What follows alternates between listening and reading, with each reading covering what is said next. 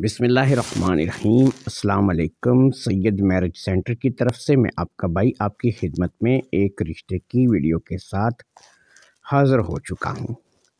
दोस्तों, आज का रिश्ता इस लिहाज से बहुत ही ज़्यादा अहम है कि आज का रिश्ता कराची सिटी से आया है और कराची में मंगो पीर से ये रिश्ता है। मंगो पीर का इलाका जो है, कराची में वहाँ पे ये रिश्ता है और इस रिश्ते का तारफ़ जो है ये मैं आपको करवा देता हूँ।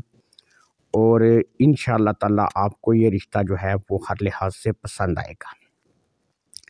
सेकंड मैरिज के लिए रिश्ता है, मैं आपको ये बता देता हूँ क्योंकि तलाक़शुदा लड़की है। इसकी शादी जो है, इसके वालदेन ने वहीं कराची में अपने मतलब के की थी किसी अज़ीज़ के घर में। तो इसकी जो शादी है, वो कोई ज़्यादा अरसा नहीं चल सकी। इसको तकरीबन आठवें, नवें महीने में जा जाके तलाक हो गई। जिसकी वजह ये है कि जिस और, जिस मर्द के साथ इसकी शादी हुई थी, वो एक नशेड़ी था, नशा करता था और वो नशा करके इस लड़की को मारता पीटता था और किसी भी लिहाज से वो कोई कामयाब शोहर जो है वो नहीं था। तो इसकी शादी करके इसके घर वाले जो है, वो समझ लें कि रिश्तेदारों में देख इसको काफ़ी पछताए हैं। अब इनका कहना है कि हम अपनी बेटी की शादी जो है, वो सात गैरों में करेंगे, लेकिन अपने किसी को नहीं देंगे।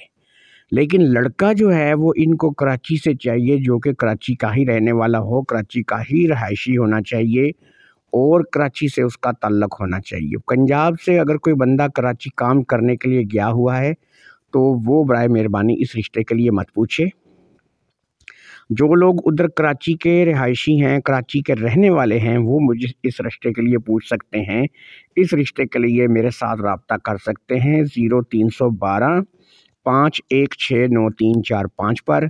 कॉल करने का टाइम शाम को पाँच बजे के बाद शुरू होगा, क्योंकि मैं जाता हूँ सुबह नौ बजे, साढ़े नौ बजे ड्यूटी पर। और मैं चार बजे, साढ़े चार बजे छुट्टी करके घर आता हूँ। उसके बाद मैं घर आने के बाद पाँच बजे के बाद आपकी कॉल जो है वो सुननी शुरू करूँगा। अगर इस दौरान मुझे कोई कॉल करेगा और मैं अपनी ड्यूटी पर हूँ तो याद रखें कि उसकी कॉल अटेंड नहीं की जाएगी।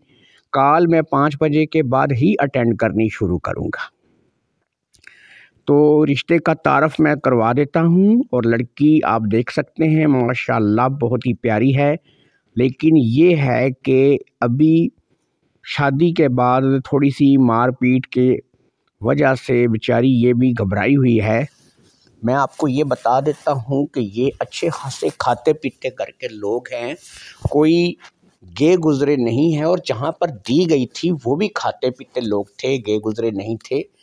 इसलिए ये याद रखिए, लड़की पढ़ी लिखी भी है, खूबसूरत भी है और खाते पीते घर से भी है तो इसके लिए अच्छे से अच्छा रिश्ता, जितना अच्छा प्रपोज़ल आएगा हम उतना अच्छा प्रपोज़ल, जो भी रिश्ता हमें ज़्यादा पसंद आएगा, जिस बंदे का प्रपोज़ल सबसे ज़्यादा अच्छा होगा मतलब तालीम के हवाले से भी, उसके खाने पीने उसके रहने, उसके ज़मीन जदाद उसके घर बार के हवाले से भी क्योंकि यही सारी चीज़ें देख कर लोग जो है वो चलते हैं शादी के लिए। घर अपना होना चाहिए, कारोबार अच्छा होना चाहिए और तालीम अच्छी होनी चाहिए।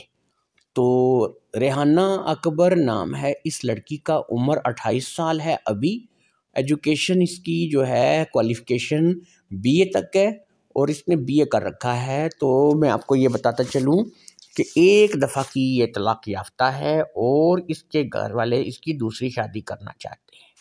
दूसरी शादी वाले हजरात भी मेरे साथ इस रिश्ते के लिए पूछ सकते हैं, लेकिन उसकी शर्त यह है कि जिनकी बीवी फोत हो चुकी है, जिनकी बीवी मौजूद नहीं है, जिनके बच्चा नहीं है, लेकिन वो दूसरी शादी करना चाहते हैं, वो पूछ सकते हैं।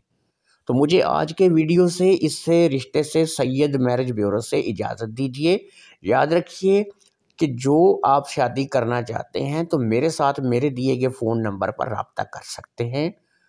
हम शादी करवाने का कोई एडवांस फ़ीस, कोई इजी पैसा, जैज़ कैश नहीं लेते। ये सब कुछ हम लेते ज़रूर हैं, लेकिन उस वक़्त जब आपके रिश्ते को तय करवा दिया जाता है। अल्लाह हाफिज़, अस्सलाम वालेकुम।